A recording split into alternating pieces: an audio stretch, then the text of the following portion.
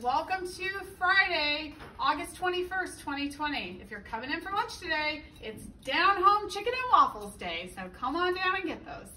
We have a few special announcements today. The first one is, this is a reminder for students in 5th through 8th grade who are interested in student council. There is going to be a meeting on Tuesday after school next week at 3.15.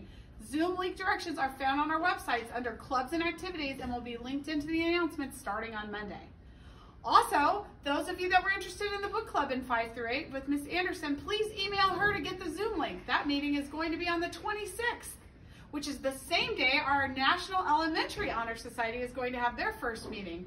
So please check out directions for that as well from Miss Nelson. We hope you have a wonderful Friday, and remember, as always, if no one has told you they believe in you today, know that we do.